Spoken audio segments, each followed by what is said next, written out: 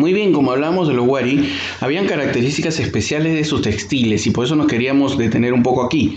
Como ustedes observan en este hermoso guante, vemos las características de la costura, del tejido wari, muy hermoso el de él, con colores entre amarillos, rojos, negros. Vemos un bolso eh, y algo especial que era este equipo. Este equipo es diferente al quipus inca y sabemos que los quipus vinieron desde los Caral, entonces no es un invento, por ejemplo, de la sociedad inca. Luego vamos a tener diferentes tipos de cerámica de múltiples influencias, desde influencias nazca, tiahuanaco, van a trabajar lo que sería la madera, también eh, para adornos, de diferente tipo vamos a encontrar con características muy especiales y tejidos también diferentes, muchos guantes que utilizaban justamente para taparse los dedos y en el frío inclemente que tenían de la puna. Y bueno, acá vemos más características de la cerámica que ellos tenían y la influencia de donde venía. Se denota que en muchos de los casos es Nazca, ¿no? Bordados como el de los sombreros que tenemos en, la, en el lado izquierdo, nos permite ver este, características que, de, uso que tenían los antiguos Wari. Bueno, la verdad es que los Wari impactaron. Antes de los Wari eran múltiples desarrollos regionales. Llegaron los Wari y unificaron todo. Por primera vez teníamos un primer estado de lo que sería un estado peruano. Entonces los Wari fueron el primer imperio que nosotros tuvimos.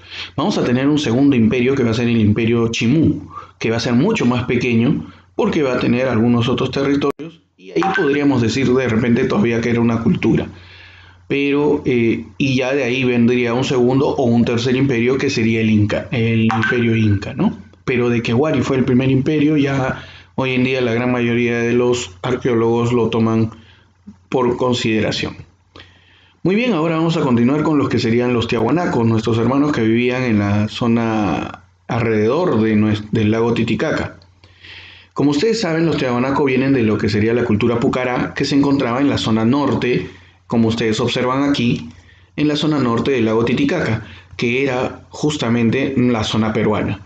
Lo que está sucediendo es que para que ustedes tengan conocimiento que la cultura tiahuanaco va a surgir y su capital va a estar en esta zona eh, de lo que hoy en día es Bolivia.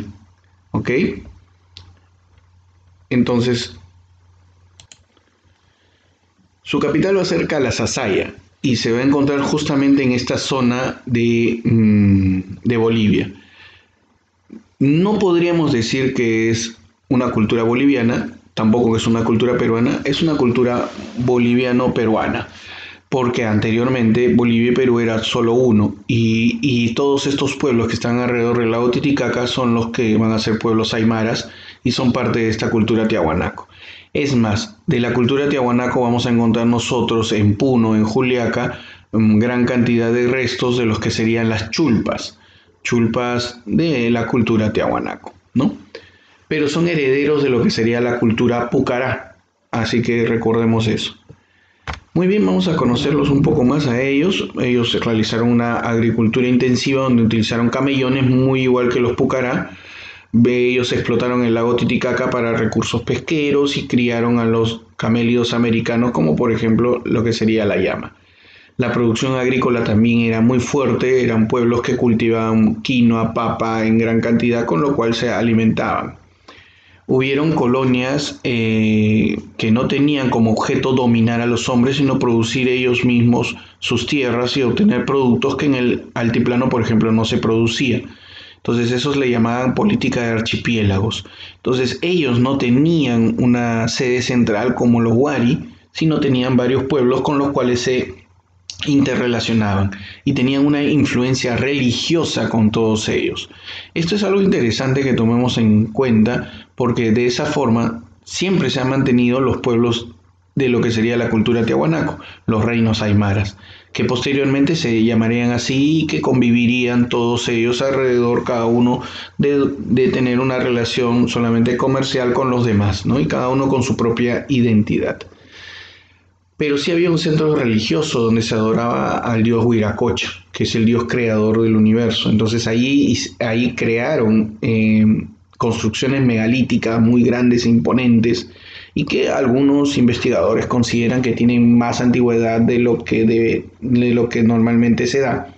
También han encontrado que las uniones entre cada una de estas piedras son tan perfectas y pulidas que ni siquiera maquinarias de hoy en día con tanta modernidad pueden generar esa misma calidad de, ser pulido.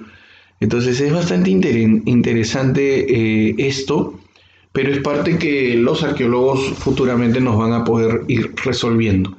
Ciudades como Acapana, que vamos a encontrar, vamos a encontrar construcciones eh, que fue sobre un cerro de 15 metros de altura, y que estuvieron unidas todas con grapas de bronce.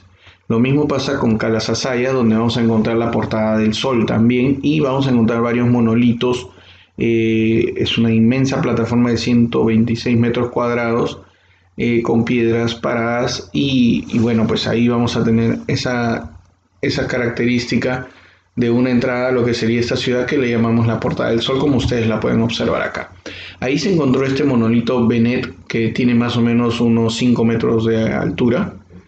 es una piedra tallada y que representa a algún personaje, eh, no a un dios importante para ellos, pero pareciera que fuese alguno de los, eh, de los curacas o personajes importantes que gobernaron a los tiahuanacos. Muy bien, con eso nosotros vamos a concluir esta tercera y última sesión sobre nuestros hermanos que convivieron en esta misma etapa como eran los Wari y los Tiahuanaco. Nos encontramos en la siguiente sesión.